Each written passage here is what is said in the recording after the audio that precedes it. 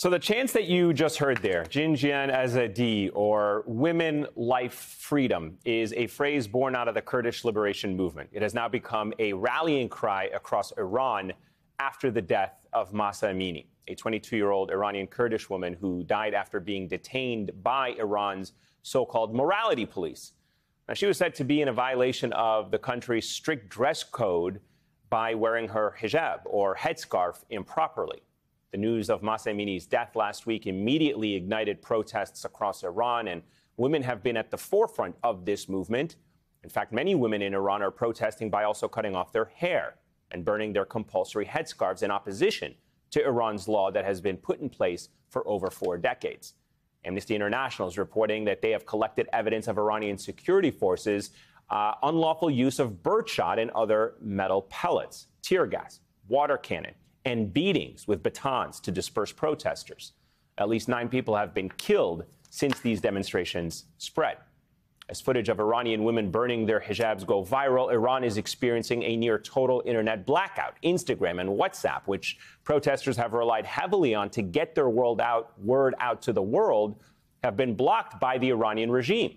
With a violent crackdown against demonstrators ongoing, Iranian President Ibrahim Raisi addressed the UN General Assembly but he never addressed the protests inside his country. Instead, he said this. The Islamic Revolution of Iran was the realization of the movement of the people of Iran towards justice and fairness. How ironic. The death of Mahsa Amini was a direct result of laws that were put into place after the Islamic Revolution in Iran. Where's the justice for Mahsa's family? The courage of the women leading these protests cannot be overstated. See, we find ourselves at an inflection point in human history. In India, women are fighting against a state's ban on women wearing hijabs. In Iran, women are protesting the forced wearing of that very same headscarf.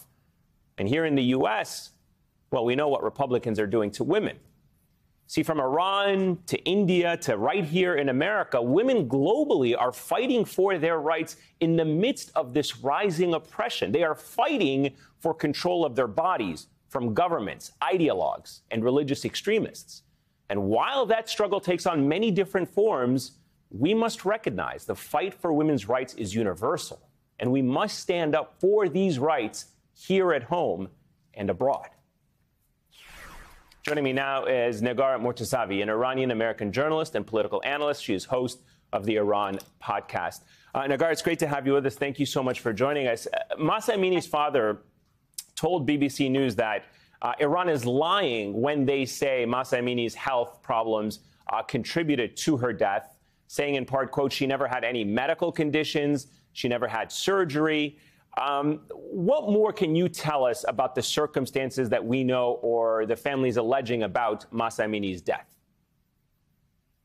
Well, Ayman, we know that Mahsa Amini was stopped when um, visiting Tehran when she got off the metro, arrested or detained by the morality police, and then taken to a station. There's a video, edited video, that was published later by the police forces, essentially alleging that they didn't do uh, commit any violence. But what angers people is that they have time and again see the violence of the morality police in past instances, video after video, and images of w- women being violently and brutally arrested, thrown into police vans, and taken to detention. So even though we may not know the exact circumstances of what led to that exact moment of her death, what's a fact is that she died in the custody of a force that has been violent to, men, to women many times before. And I think it's anger uh, of women that's been building up because they see themselves in Mahsa Amini. Men see their own sisters in Mahsa Amini. And a lot of people are coming out saying,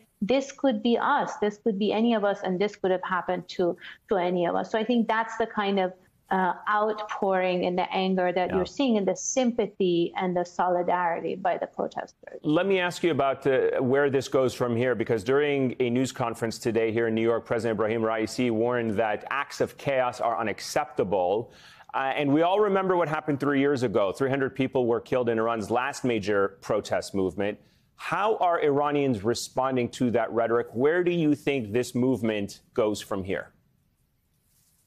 Well, Iranian women, what's incredible is that we see a lot of women leading these protests, very symbolic images. It's essentially women coming out to ask for their basic rights and dignity and to be treated like equal citizens it's it's really images of bravery and courage of these young women and it's incredible. But then at the same time as you said we've seen in past years that the state is willing to use violence to crack down on protests. In 2019 it was essentially brought down an iron fist to to crack down and as they call it wrap up the protest so with internet disruption with the violent images that we're seeing i'm afraid we're going down that path so i wouldn't be surprised to see even more violence on the, the streets as they're trying to um, minimize the protests across iran yeah, absolutely scary thought given what we've seen in the past and uh, what this regime has shown it is capable of. Uh, Negar Mortazavi, thank you so much uh, for joining us tonight.